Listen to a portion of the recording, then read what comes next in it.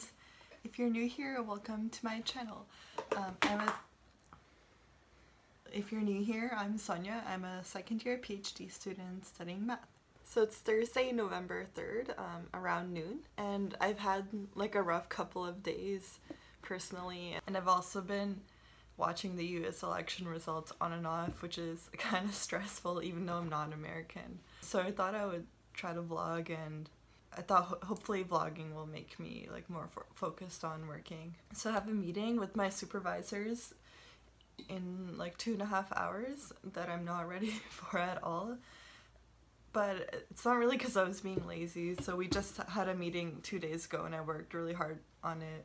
I, I read a lot and had good questions which they were able to answer and I, I think I've really understood the setup of this paper we're going through which has taken like it's taken like a month to read like seven pages which I think is kind of normal in math probably not normal in other disciplines. But yeah so we had that meeting two days ago and then tomorrow I have to present in the graduate seminar and our presentations are usually like an hour long so it's not a trivial thing to make a presentation for this. It takes a lot of work. So yesterday I spent like most of the day when I wasn't looking at the news um, working on my presentation and also doing some TA work that I have to do. And then this morning also working on my presentation. So now I'm kind of getting anxious about my meeting. And I always get nervous that if I don't have anything for the meeting they'll think I haven't done anything. And I know I can tell them. I was working on this presentation and I'm kind of considering just emailing them and saying can we just meet again on Tuesday and cancel today's meeting but that's what I wish but I probably won't do that. Maybe we'll just have a short meeting where I say hi like I haven't done my my research work because I've been doing this presentation. Usually they're pretty nice to me. I, I just in my head I get I think of like the worst case so about my presentation, our school has a, a, graduate student seminar. So before it would be in school and you'd be able to write on a chalkboard and basically every week a new student will do a presentation and they can do anything math related that they want. Like they can present their research, they can uh, do an intro to some topic, they can, uh, they can find a cool theorem to present. Um, for example, one, one talk I thought was pretty cool was a fellow uh, PhD student did a talk on proving that 26 is uh, the unique non-integer which is directly between a perfect square um, 25 and a perfect cube 27 so yeah you can do cool theorems like that. You can just explain some topic or like whatever you want um, and it's pretty, I like it because it just grad students show up, which makes it a good place to practice. And it's not as scary as when you have to present to profs and postdocs. A few weeks ago, I presented in our algebra working group seminar which is like mostly profs and postdocs and it's like I found like I tried really hard to prepare and like my I think I did a good job on the prep work but when I got to the talk I got even though it's through Zoom, like I still get so much stage fright that like by the end I was freaked out and like just wanted it to be over. And when it was over like I was KO'd for like I don't know the next two hours. I was just like I'm just gonna watch TV and not not deal with anything now. It took a lot out of me but hopefully tomorrow will be nicer because it's just to students. I'll be doing my grad talk on quantum groups, like a less technical talk and a more concept talk. So I was gonna say, so I was gonna say like, why is it even called quantum and then explain it has to do with um, the relationship between quantum mechanics and classical mechanics. So hope that goes well. I'm still not done um, writing out the talk, but hopefully we'll be done by end of today and it, it's sometime tomorrow afternoon. I forget exactly when, so tomorrow morning I can practice. Well, vlogging is fun and talking about my day and my frustration stuff actually has helped me calm down. So I think now I'll try to make a latte and then I'll try to work on my talk more. Uh, I think I'll do Pomodoro again for this. I really like Pomodoro because otherwise sometimes I get so focused that I, I'll study straight for like two hours or something, but it's too much and then I get burned out and then I don't do anything for like the next few hours. But this way, when I study a little bit, take a break, I can overall go longer. Okay, so coffee time.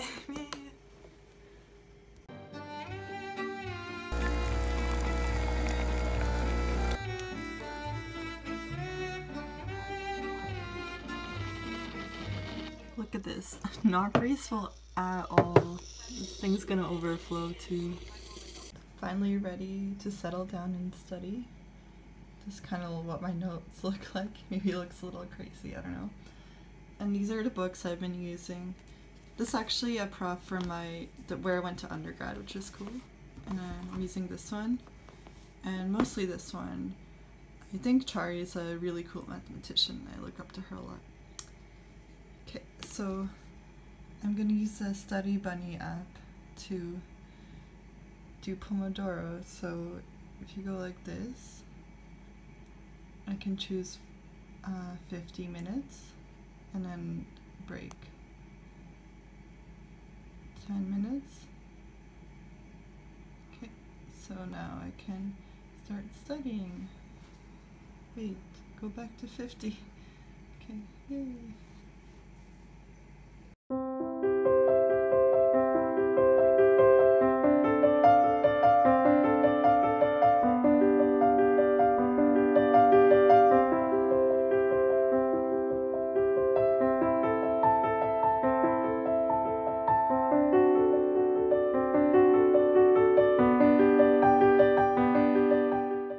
Finished my first Pomodoro session working on my talk and I have quite a few slides here, but I still think I need to put a bit more stuff in it. Well, like not I think I have to. I have one definition that's like not complete. Anyway, I have most of what I need in here, but I don't know if I have it in the right order, so I have to play around with that after I put everything inside. And I find that's one of the hardest things. Yeah, so when you're doing a talk to a non-specialist audience, it's important to not go too much into the technicalities of stuff and focus more on the concepts because that's what people are more interested in. If someone's like not an expert in your area and you're just going into like the details and computations and stuff, like they probably won't follow everything you're doing because it's too fast in a talk and they probably just like don't care about that. They want to know what the idea is. And that's something I need to work on.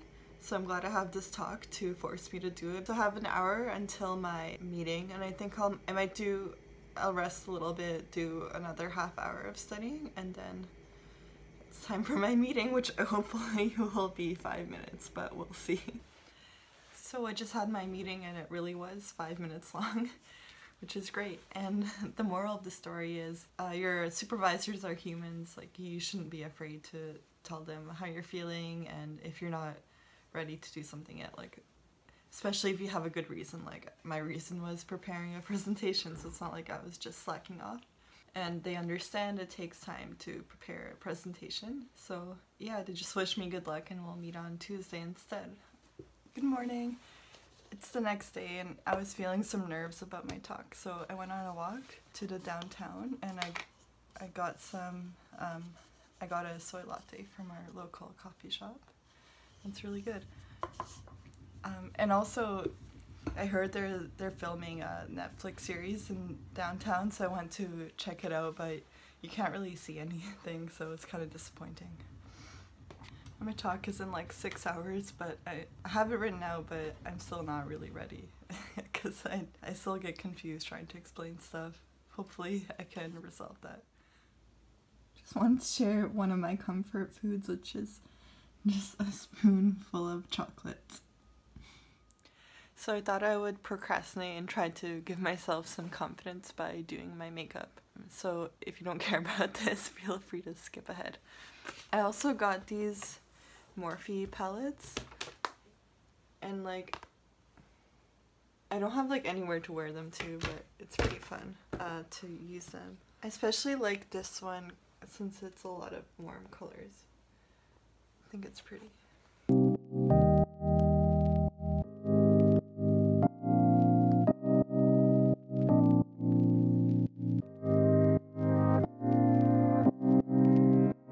This is the only shadow brush I have.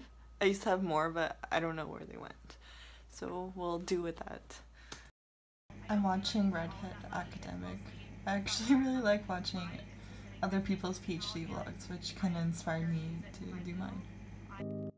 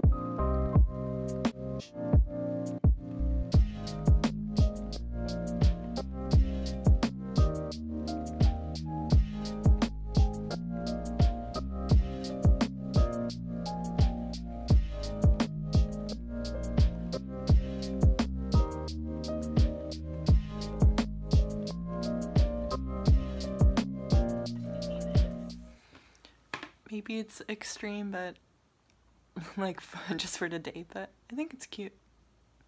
I used to put foundation on, but now when like people just see me through a camera and I'm not really going out anywhere, I don't want to like have that extra stuff on my skin. Like I just want to, my skin to be able to breathe, so I leave it like this. I think it looks fine, but I don't know what lipstick to put. I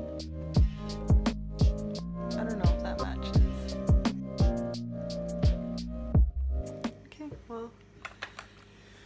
Time to stop procrastinating and work on my talk some more. So I finished my talk and it went quite well, so I'm pretty happy about that. And I'm gonna spend the evening editing and relaxing. Um, thank you so, so much for watching. I'll see you next time. Bye.